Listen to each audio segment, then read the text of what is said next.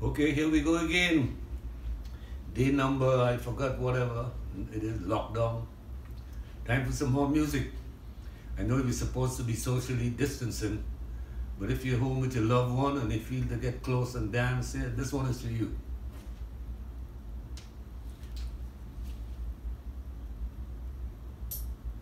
You.